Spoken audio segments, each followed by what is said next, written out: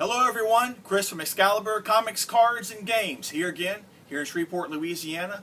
Stay tuned because I'm about to tell you what's coming out tomorrow, April 10th, 2013. Out from Marvel Comics this week, Age of Ultron issue number 5. Still continuing the story by Brian Michael Bendis and Bryan Hitch. And things are heating up as the ragtag team of leftover Avengers and other heroes find themselves in the Savage Land and are finally beginning to act on their plan to take out Ultron. Pick this issue up. We also have the previous issues 1, 2, 3, and 4 on the shelf, so if you're behind on the series, you can pick up every single issue and get caught up this week. Speaking of Avengers, Uncanny Avengers number 6 hits the shelves this week, written by Rick Remender, with art by Daniel Acuna. Check out this issue to see the epic fight between Apocalypse and Thor, and what may be the repercussions from that battle. Everyone's favorite X-Men hits the shelves again this week. Wolverine number 2, written by Paul Cornell with art by the fantastic Alan Davis. We see the events from issue number 1 unfold. Also, a surprise visitor at the end. Check it out, see what it's about. Talking about X-Men, Uncanny X-Men number 4 hits the shelves this week, written by Brian Michael Bendis with art by Chris Bachalo. Be sure and check out this issue as this issue seems to deal more with Illyana Rasputin. Also, you get to find out which of the original X-Men that traveled through time to be in the all-new X-Men joins Cyclops' team. Secret Avengers number 3 hits the shelves, written by Nick Spencer with art by Luke Ross. This issue focuses on the Iron Patriot, and you find out what his deadly secret is. Talking of Age of Ultron, we also have an Age of Ultron tie-in issue this week, which is Ultron AU, following Victor Mancha, a previous member of the Runaways team.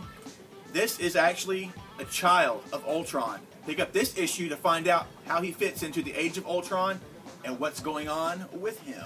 DC Comics is still rolling out their issues with the gatefold covers. This week we have Constantine, number two, hitting the shelves, written by Jeff Lemire, Ray Fawkes, with art by Renato Guedes. Be sure and check this out. There has been no change to Constantine. If you loved him before, you're going to love him here in the DC Universe.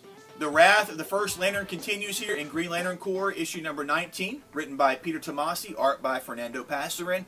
If you are behind on getting this storyline, we have the issues available here in the shop. So be sure, come by, get caught up on this storyline this week. Fan favorite DC comic Batman by Scott Snyder and Greg Capullo hits the shelves this week taking a look at who could be Bruce Wayne's greatest enemy. Be sure you fold out the cover to see who could be. In case you haven't heard the controversy, Batman and Red Robin 19 hits the shelves this week, and when you open up the gatefold cover, it has a surprisingly familiar face. Could this be the new Robin? Time will tell. Check it out. Tell me what you think. Image Comics hits us with The Walking Dead 109 this week. We've talked about this series. This is a must-have, must-read series. If you're not on board, get on board. We have the trade collections available as well as pre some previous issues available here in the shop. Get caught up, find out what's going on with The Walking Dead. One of our favorite image series that Randy and I have talked about before, Saga number 12 hits the shelves this week with this particular issue focusing on the robot Prince, written by Brian K. Vaughan with art by Fiona Staples. This is a series that you need to get on board with. You will not be disappointed. After the weekend mega sale, we are wiped out of pretty much everything related to Saga, but if you come in, you can have it ordered, and you can also pre-order the second trade. Add this series to your pull list.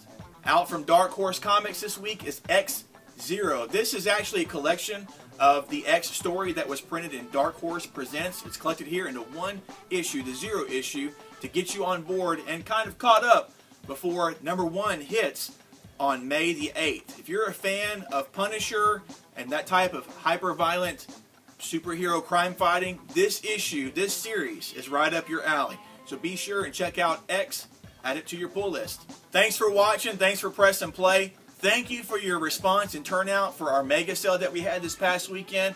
It's always an awesome time for both us and for you. Great savings throughout the entire store. And be sure that you're on our mailing list so that we can tell you when our next mega sale is. Thanks again for watching. Be sure to subscribe, share, and like this video. Until next time, have a great day.